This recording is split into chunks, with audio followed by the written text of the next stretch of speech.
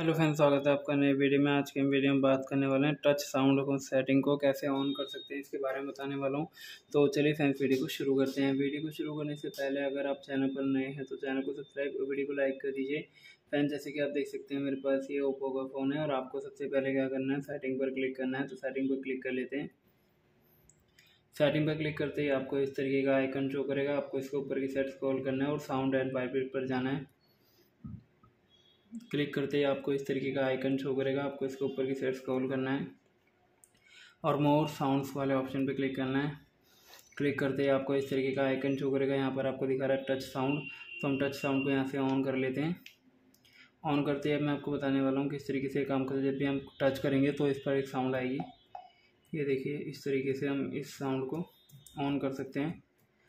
जैसे हम किसी भी चीज़ को टच करते हैं तो साउंड आती है। तो उम्मीद है फ्रेंड्स आपको वीडियो पसंद आएगी। वीडियो पसंद आएगी तो चैनल को सब्सक्राइब कर, वीडियो को लाइक कर दीजिए। मिलते हैं नेक्स्ट वीडियो में, तब तक के लिए नमस्कार।